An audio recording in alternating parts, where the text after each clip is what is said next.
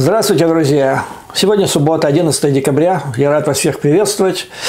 Вообще у меня такое впечатление, чем больше я слежу за текущими событиями, тем больше у меня появляется подозрение, что скоро мне придется, не дай бог, выступать как Совинформбюро во время Великой Отечественной войны, то есть на ежедневной основе, поскольку события, они нагнетаются и, и все ускоряется в своем безумии. Но сначала пару коротких э, замечаний, заметок.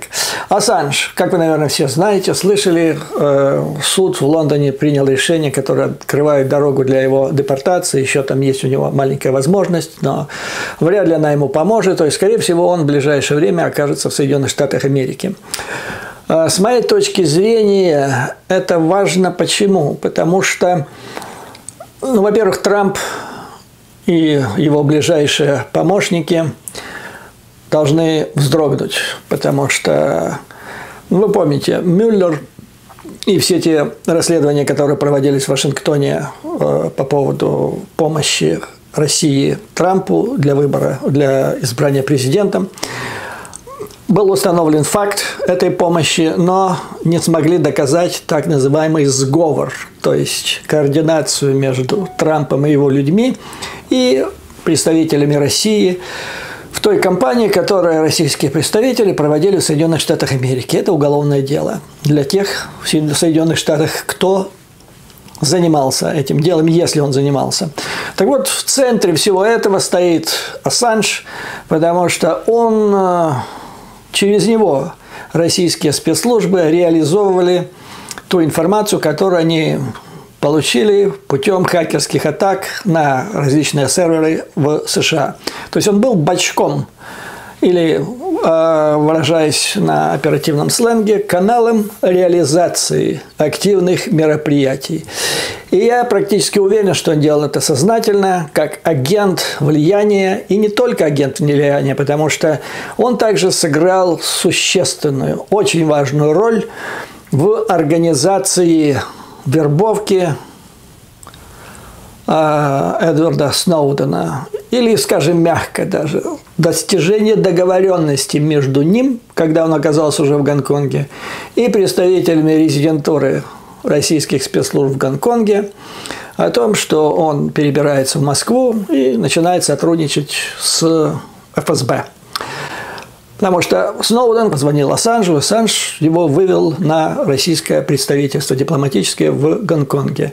Ну а о том, какой удар по национальной безопасности Соединенных Штатов нанес Сноуден, я вам уже рассказывал и неоднократно. Второе интересное событие э, военные средства массовой информации, работающие на Пентагон, сообщили, что на Аляске, неподалеку от местечка Фэрбэнкс, закончено развертывание станции раннего обнаружения космических объектов, которые, ну раз на Аляске вы понимаете, которые могут потенциально лететь с территории Российской Федерации. То есть речь идет о баллистических ракетах из включая, включая, если они есть не только в мультиках, а появятся в реальной жизни, даже гиперзвуковые ракеты. По словам источников из Пентагона, которые цитируют американские издания, э, радары этой системы обнаружения позволят засекать в космическом пространстве объекты величиной в бейсбольный мяч – считается прорывом. Развертывание закончено. Понадобится на его полное испытание примерно год. И в начале 23 года эта станция начнет работать. То есть Пентагон считает, что это историческое событие в плане укрепления безопасности Соединенных Штатов. Ну, а теперь перейдем к главному – Когда разведывательное сообщество Соединенных Штатов Америки пришло к выводу о том, что Путин имеет план нападения на Украину, они основывали свои выводы на двух факторах. Первый – внешний. Это концентрация российских войск у украинских границ, причем практически чуть ли не по всему периметру. А, а не так, как в апреле, где это происходило только с одной стороны. Но это, так сказать, внешний фактор. Второй фактор – это активизация, это борьба на внутреннем фронте Украины. Это деморализация Украины, ее населения, ее государственных структур. То есть это реализация той стратегии, которую еще древние китайцы называли достижением победы без единого выстрела. И в этом плане американцы заметили существенную активизацию работы прокремлевских агентов влияния, ботов, троллей на украинском направлении. Но их работа даже оказалась заметной на территории Соединенных Штатов Америки. В частности, на прошлой неделе известное международ... во всем мире крупнейшее, одно из крупнейших информационных агентств мира Associated Press опубликовало статью, в которой говорилось, ну, дипломатическим языком, но фактически говорилось, что дипломатические представители Соединенных Штатов Америки собираются оказать давление на власти Украины с тем, чтобы они согласились с уступкой суверенитета или, эм, ну, в общем, суверенитета на части своей территории. Речь шла об уступках в Ордло. То есть в плане ее автономии, то есть отдать значительную часть этой территории под управление так или иначе э, путинским ставленником значит, в этом, в, этом в, в, в Лугандонии. Эти новости вызвали ажиотаж здесь, причем такой не то, что даже ажиотаж, а волну возмущения. Дошло до того, что сделали официальный запрос э, пресс-секретарю Белого дома Джейн Псаки, которая на это ответила. Значит, вопрос был сформулирован так. Правда ли это, что Соединенные Штаты сейчас оказывают давление на Украину, чтобы отдать суверенитет над частью территории России? То есть, э, частью украинской территории России, в пользу Российской Федерации. Ответ Псаки был краток. Это абсолютная ложь. И в этой связи, значит, отмечается в Соединенных Штатах, в правительственных учреждениях, в э, экспертном сообществе активизация путинской кампании дезинформации в отношении Украины и в США, в Западной Европе, и в том числе в Украине. В Украине, с моей точки зрения, вот этот тезис, я как-то о нем говорил и раньше – но сейчас это стало опять актуально. Я считаю, что одним из тезисов вот этой дезинформации, одним из основных, является тезис о том, что Байден слил Украину Путину. Байден все, Путин все выиграл, Байден все слил, Украина беззащитна. Ну, если об этом пишут тролли, нам понятно, за 11.80 тут все ясно. Если об этом думают, кричат и говорят граждане Украины, то я хочу, чтобы они поняли следующее. Допустим, ну, представим невозможное. Байден слил Украину Путину. Что в этой ситуации делать Украине? Значит, Байден слил. Ну, раз Байден слил, значит, все, и НАТО тоже слило. Евросоюз тем более слил. Украина одна. Перед ней сейчас 100-тысячная группировка, Через месяц она будет 175 тысяч группировка. Украина беззащитна. Что надо делать, остается делать Украине, если Байден слил ее Путину?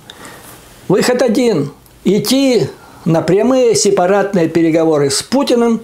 На каких условиях? Естественно, на условиях Путина. Это как раз то, что нужно Кремлю. Это победа над Украиной без единого выстрела. И это надо понимать совершенно ясно.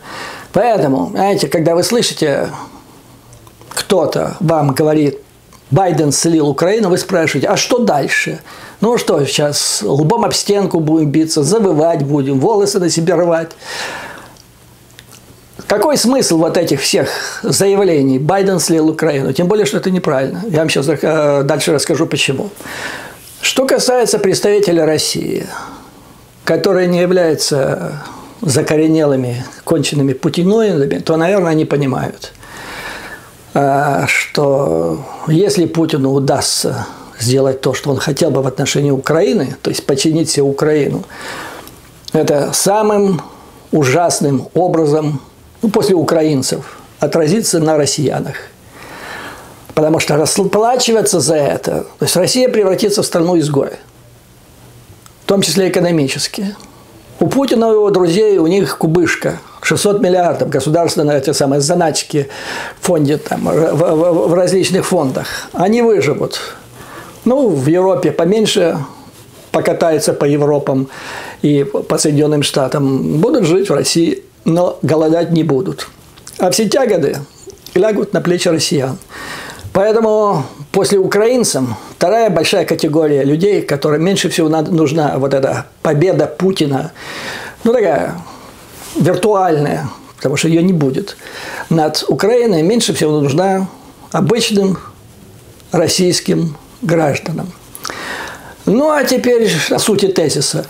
Он неправилен в принципе, потому что э, Байден не сливал Украину Путину, и основная стратегия администрации сейчас заключается в том, что заключается в понимании, что крысеныш загнал себя в угол. Ему сейчас пока дают возможность выбраться из этого угла, не потеряв то, что называется лицом.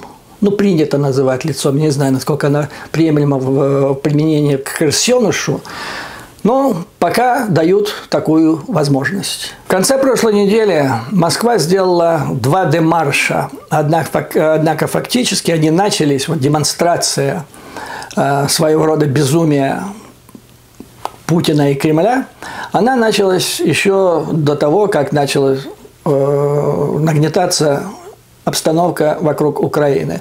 Речь идет о памятном всем победе путинского оружия, когда они уничтожили свой собственный спутник. В результате образовалось полторы тысячи осколков, которые на низкой орбите сейчас летают вокруг земного шара и угрожают другим космическим объектам, и в, то же, в том числе станции международные, в котором находятся российские же э, космонавты. Американцы знали о готовящемся вот этом испытании противоспутникового оружия и предупреждали Путина, предлагали ему этого не делать. Путин сделал. Американцы сделали стратегический вывод, очень важный для себя, что тем самым человек демонстрирует, что ему плевать на э, общепринятые стандарты поведения, ответственность больших великих держав, плевать на последствия. То есть месседж был такой от Путина, от Кремля. Мы можем это сделать, и мы это сделаем, потому что это мы хотим. Короче говоря, он показал Кузькину мать а-ля, а-ля, а Путин. Значит, мы с вами говорили, как Корейский кризис 2, да, там была Кузькина мать у Хрущева, теперь Кузькина мать у Путина. Прямо как калька какая-то. И плевать на последствия. Ну, теперь в конце, вернее, с середины прошедшей недели а Москва делает два дополнительных демарша. Сначала МИД Российской Федерации направляет в американское посольство в Москве письмо, в котором выражается возмущение э, участившимися полетами американских самолетов в акватории Черного моря, э, появлением кораблей там и так далее. То есть было так сказано, что это предупреждение об опасных последствиях, которые могут привести эти действия. Ну окей, это еще приемлемо. Однако в пятницу Министерство иностранных дел Российской Федерации, это министерство, которое известно во всем мире как крупный оптовый э, перевозчик кокса.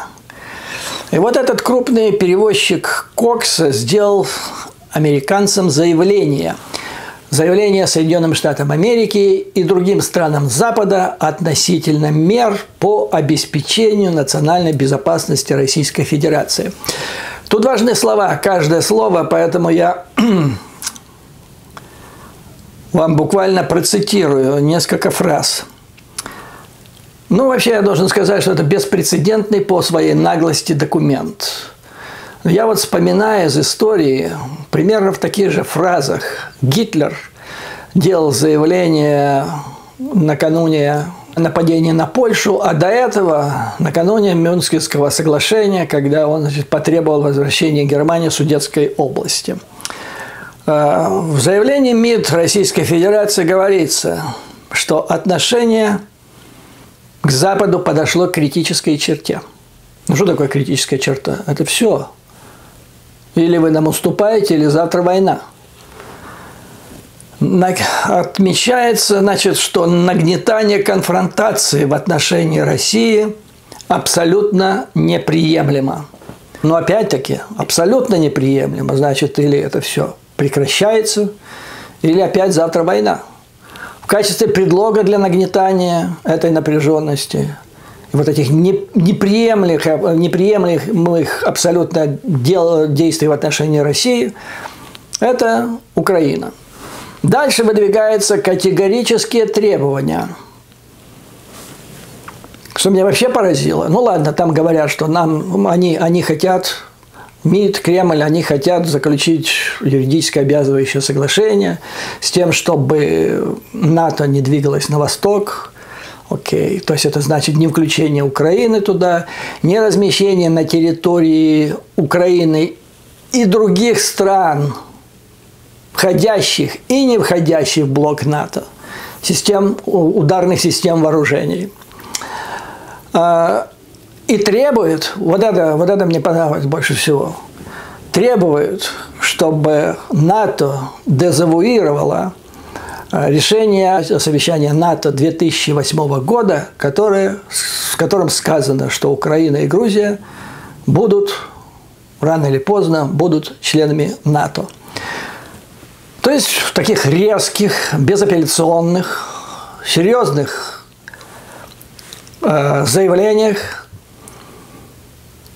говорится о том, что если вы нас не ублажите, если вы нас не умиротворите, то ситуация дошла до критической черты, и все. Мы на пороге большой войны. А, Причем а, объясняется все это опять с, точки зрения ну, невероятной наглости.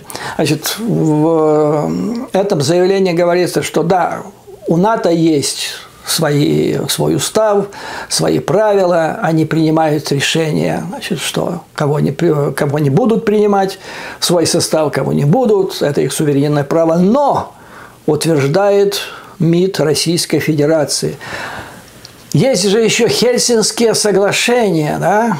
есть еще Организация по безопасности и сотрудничеству в Европе, основанная на Хельсинском акте, в котором говорится, что безопасность в Европе, она безопасность для всех. Нельзя решать вопрос о собственной безопасности – путем ущемления безопасности других государств. И это звучало бы как святая правда. И это так и есть. И так это и есть записано в Хельсинском акте. Но цинизм и наглость вот этого заявления состоит в том, что Россия является единственным государством после подписания Хельсинского акта, которое в 2014 году нагло растоптала, я говорил это давно уже в своих предыдущих видео, нагло растоптала этот Хельсинский акт, совершив агрессию против Украины и аннексировав часть территории другой страны. И теперь агрессор ссылается на Хельсинский акт, который он растоптал 6 лет назад, требуя обезопасить себя от жертвы агрессии. То есть это уникальный по своему цинизму акт, повторяю. который вот напоминает мне то, что делал Гитлер, требуя возвращения судет, а потом объясняя, почему ему нужна, э, нужен коридор к Данцигу. Я думаю, что это не случайно. Я давно заметил, что вот то, что делает Путин в своей политике внешней и, в частности, в отношении Украины, это так похоже на то, что делал Гитлер накануне Второй мировой войны. Не случайно, потому что когда он учился, когда я учился, а он учился, другие учились в Краснознаменном институте внешней разведки КГБ, там каждый специализировался на той стране, в которой он потенциально планировался для работы. Поскольку у Путина был немецкий язык, он специализировался на Германии. И, вероятно, среди его ближайшего окружения, в том числе экспертного, много людей, которые тоже специализировались на Германии и которые знали вот эту всю историю. И теперь они буквально вот как, как реплика, шаг за шагом, чуть ли не фразы э, применяет те самые, которые в свое время значит, использовала гитлеровская Германия накануне Второй мировой войны. Прочитав все это, в Вашингтоне, в общем-то, пришли к пониманию – что Путин и Кремль в целом, они не верят в то, что Америка и НАТО примут вот эти требования, особенно учитывая ту стилистику, тот контекст, в котором они изложены.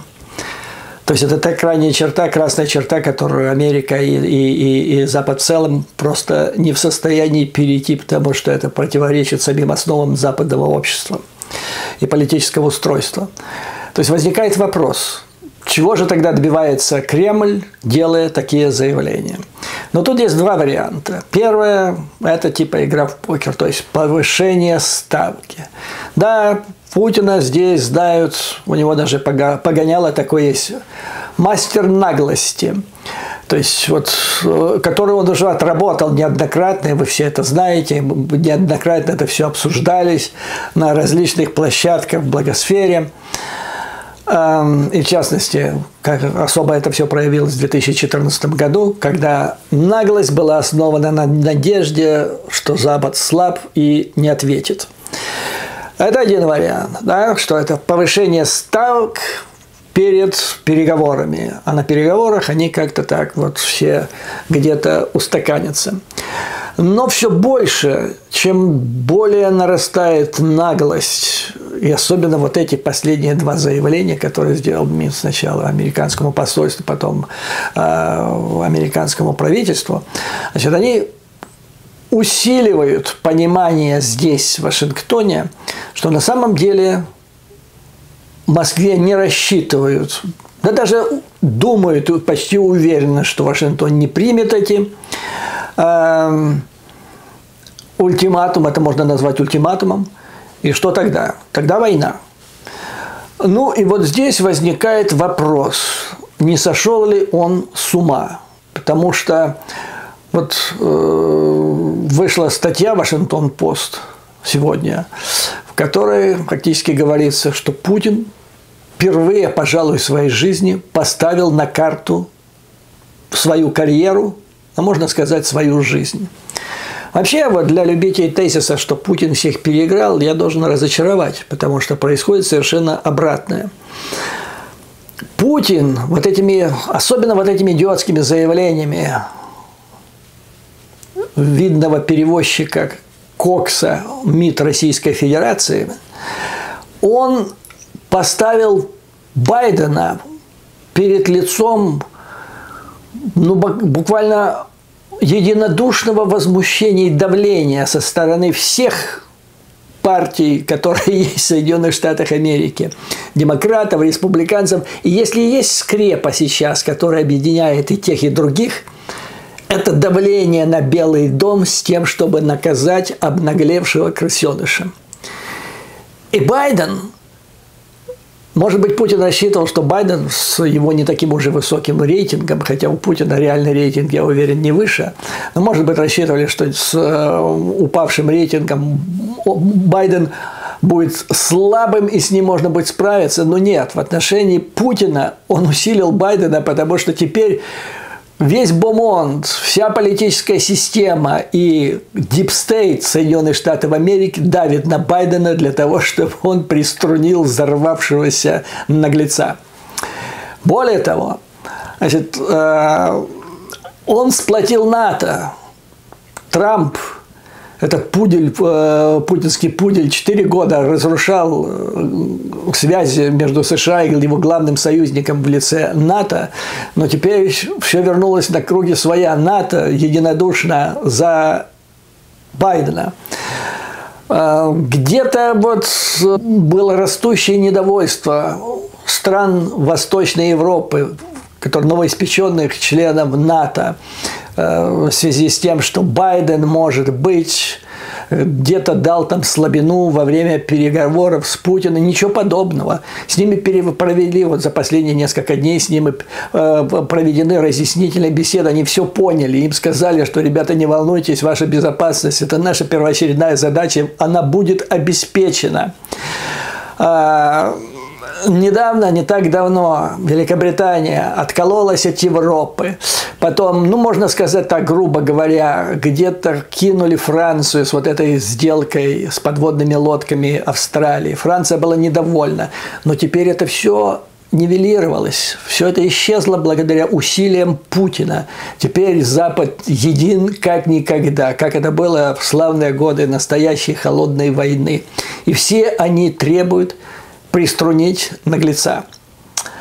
Ну и вот э, статья «Вашингтон-Пост». Это примечательная статья, потому что ее написал Дэвид Игнатиус.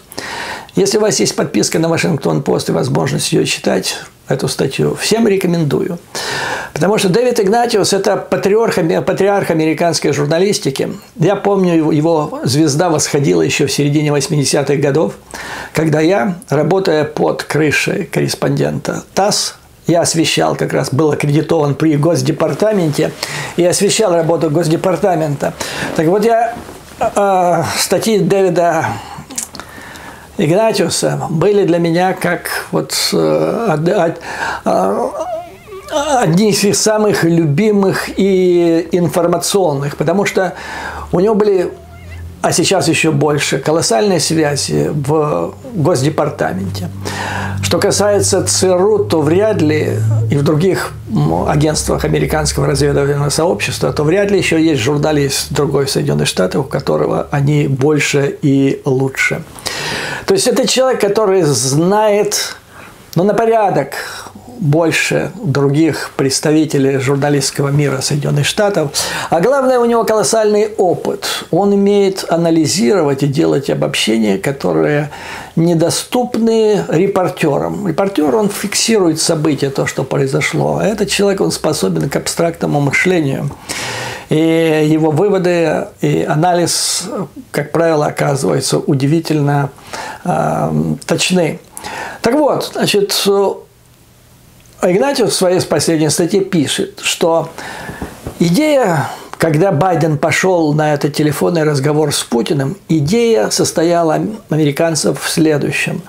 Да, крысеныш загнал себя в угол, но давайте поговорим с ним, устроим что-то вроде переговоров и дадим ему шанс, возможность выйти из этого угла, в который он сам себя загнал – по возможности сохранив свое лицо. И вот для этого ему предложили, значит, отодвинуть военный вариант решения этой проблемы насчет Украины. И давайте, давайте поговорим, давайте подискутируем. Да? То есть дипломатия вместо, вместо войны. Но то, что требует Кремль в последнее время, значит, оно свидетельствует о том, что человек, ну, наверное, обезумел и идет просто на рожон. Или же это сверхнаглость. Человек решил сыграть последний, последний, это его последняя гастроль. Или же он все-таки играет как покер, поднимает ставки, чтобы потом все-таки отойти. Но чем больше он будет затягивать это, тем тяжелее ему будет выбираться из этого угла. Поэтому значит, здесь все больше возникает подозрение, и даже не подозрение, а убеждение, что дело дипломатии не закончится. Придется применить кулак. И вот Игнатиус, он со всеми своими связями, со всей информацией, которую он получает, он э, пытается прогнозировать, что будет, если Путин реально не воспользуется данной ему возможности свести все это дело к дипломатическим переговорам и действительно вторгнется в Украину. Значит, что его ожидает? Игнатиус, который знает о пакете санкций, которые были изложены Байденом Путину, и которые еще усиливаются сейчас и финализируются в переговорах с западными союзниками, они разрушат экономику России и превратят ее в страну-изгой. Значит, в финансовой сфере первый удар будет нанесен по веб-банку. Это банк, один из крупных в России, это банк Кремля, Путина и его ближайшего окружения. Нанеся удар по этому банку, американцы считают, что ну, это, это не, не затронет широкие слои российского населения. Они думают о нем, чтобы это не затронуло большого количества россиян. Будет удар по, по, по Путину и его корешкам, так сказать. Но на втором месте, если этот все еще месседж. То есть американцы не привыкли эскалировать, то есть взвинчивать ситуацию шаг за шагом. война, она не начинается с того, что бросается атомная бомба. Сначала начинается просто с, с обычного выстрела. Так вот, э, номером два на втором этапе стоит Сбербанк. А вот это уже серьезно, потому что, как пишут американцы, Сбербанк это где-то 40-50% клиентов – это граждане Российской Федерации. И речь, речь идет о отключении от Свифта. Все, страна превращается в изгоя, финансовая ее система, она отделена от мировой финансовой системы, чтобы там россияне не э, создавали э, в качестве альтернативы. Альтернативу тоже отрежут. То есть страна превратится в страну изгоя. Э, и это уже затронет значительное число российских граждан. Поэтому сейчас возникает вопрос, как россиянам готовиться к этим событиям. Не имеет ли смысл вытаскивать свои деньги из российских банков, чем больше дело приближается к военной разведке, иначе потом с этими денежками придется расстаться. Э, но дальше идет разговор о том, что Северный поток-2 он прекращает свое существование так и не приступив к работе.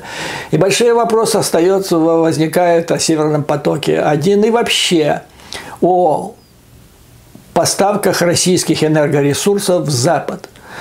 Потому что вот недавно э, новоиспеченный министр иностранных дел Германии Анна-Лена Бербок посетила Великобританию, после чего Великобритания призвала своих европейских партнеров на континенте вообще отказаться от закупок российского газа.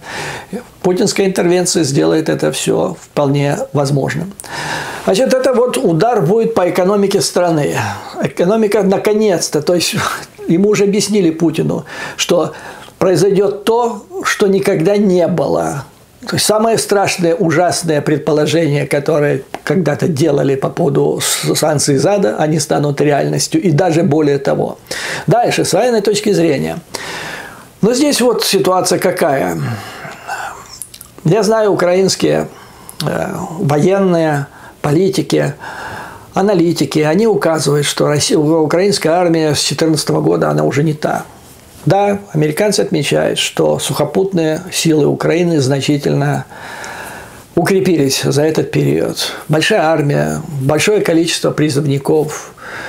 То есть, чтобы ее победить исключительно на поле боя сухопутными силами, то есть путинскому войску понадобится, может быть, не менее полумиллиона.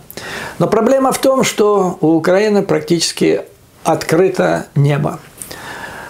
У страны практически нет противовоздушной обороны. Как я и говорил, когда мы разговаривали с вами о полете Байрактара. А в современной войне господство в воздухе неминуемо ведет к победе и на поле боя. То есть, если На этот раз, как отмечают американцы, если Путин совершит агрессию, это не будет уже гибридная война. Ему не надо будет скрывать участие, свое участие в этой войне. То есть он применит не только сухопутные силы, но и авиацию, а возможно и ракеты. И в этих условиях, при полном господстве в воздухе, вот эта вся подготовка украинской армии на земле, она будет, она будет нивелирована. И как предполагают американцы, эта кампания может завершиться в течение нескольких дней – Компания будет не такой легкой, как предполагает, возможно, Путин. Она будет кровавой, будет много грузов 200. Но даже если украинские силы потерпят поражение, и даже если, ну вот он введет войска на территорию Украины, что дальше? Дело в том, что за последнее время в Украине подготовлено э, произош... прошли военную подготовку, это помимо вооруженных, те, которые в, в составе вооруженных сил, около 400 тысяч человек. На руках имеется около миллиона единиц оружия. А в Украине американцы насчитывают 15, как они говорят, националистических или патриотических формирований, которые, хорошо, которые очень мотивированы, которые хорошо подготовлены, то есть даже в случае оккупации части территории России, российских войска, если они там останутся, ждут, ждет ад. С высокой вероятностью того, что он будет перенесен через границу на территории не только Российской Федерации, но и Белоруссии. Россия не сможет выдавать все это за гибридную войну э, и воевать путем при помощи так называемых зеленых человечков. Американская разведка уже зафиксировала это официально, что Путин, вооруженные силы готовятся к войне. Это будет, это будет полномасштабная агрессия. И таковой она будет признана мировым, мировым сообществом. Вопреки широко распространенному мнению, вот эта война Путина против нападения Путина на Украину совсем не нужна Пекину. Более того, американские аналитики считают, что, Путин, э, что Пекин будет в ужасе вместе с председателем Си. Они будут в ужасе, если Путин это совершит. Потому что тогда совершенно четко, если Россия союзник Китая, она всячески набивается стать Росси... э, союзником Китая, то нападением на Украину Россия скомпрометирует Китай. Россия превратится в изгоя, и вместе с ней в изгоя может превратиться Китай. Поэтому Китай – это последнее, что нужно Китаю – это агрессия Путина против Украины. Ну и, наконец, как пишет Дэвид Игнатиус, есть еще X-фактор. А как отреагируют на эту войну россияне? И здесь американцы считают, что ситуация совершенно не радужная. То есть отделаться вообще без крови, как это случилось э, в Крыму, или малой кровью, как это произошло на территории Ордло, сейчас не удастся. По оценкам американцев, в России всего 16% населения считают, что война против Украины поднимет рейтинг Путина, тогда как 31% считает, что наоборот, в результате этой агрессии, этой войны который будет сопровождаться кровопролитием и грузами 200, рейтинг Путина упадет. Таким образом, вот куда ни посмотри, везде обвал, везде облом. И единственное, что, что говорит о том, что Путин все-таки, несмотря на все это, сделает, э, сделает это, совершит это безумие, это но это безумие, это реально безумие. То есть сейчас считает, что он в таком состоянии, что он ставит на карту не только благополучие своей страны, вернее, страны, которую он управляет, но и свою собственную жизнь и, и, и политическое будущее. Я по-прежнему считаю, что это блеф. Это нахаленок, которому все до сих пор сходило с рук, потому что ну, не было не то что единства западного мира в желании поставить его на место. Не было даже планов это сделать. То есть пока это даже не были санкции. Это было так, ему грозили пальчиком. Теперь ситуация совсем другая.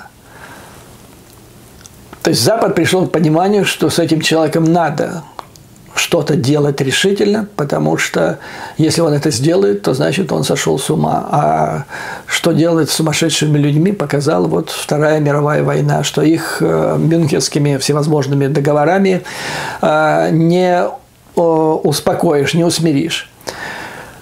Поэтому речь идет сейчас не о умиротворении.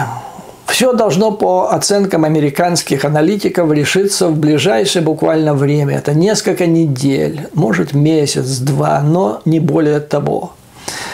В котором, в течение которых станет ясно, принимает ли Путин данный ему шанс выбраться из этого крысиного угла, объявить себя победителем. Его тролли будут кричать «Путин опять всех кинул», но на самом деле вот просто ему дадут возможность уйти и все.